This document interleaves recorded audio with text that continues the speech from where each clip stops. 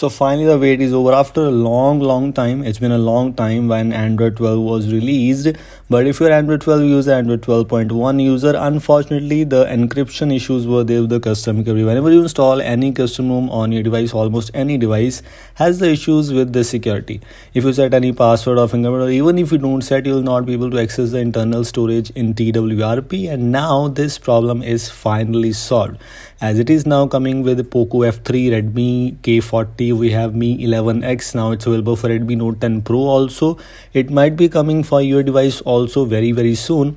I'm just booted into custom recovery as you can see this is TWRP I have and I have the option for decrypting data which means if I put my lock screen password here click on OK my device will be decrypted my data will be decrypted which means encryption is working fine and I will be able to use the internal storage with this thing this is absolutely fine. As you can see this is how it is looking like. In my opinion this is a very very useful thing.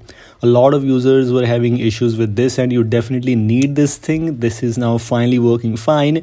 I'm not sure about the orange fox custom recovery yet but this twrp which works with poco f3 redmi k40 and mi 11x this is the thing which we have right now even it is available for Redmi Note 10 Pro also while making this video and it might be available for your device also very very soon as it is available as unofficial bit as far as I know. So you need to check out the device specific groups and you can find out on XDA or Telegram.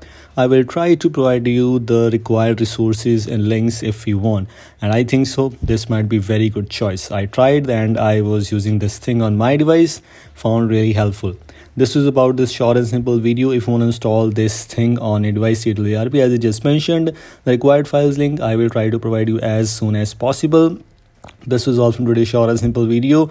And yes encryption is working perfectly fine so this might be a very very positive thing for the custom ROM users especially. I will see you in the next video. Until then don't forget to like and share this. Goodbye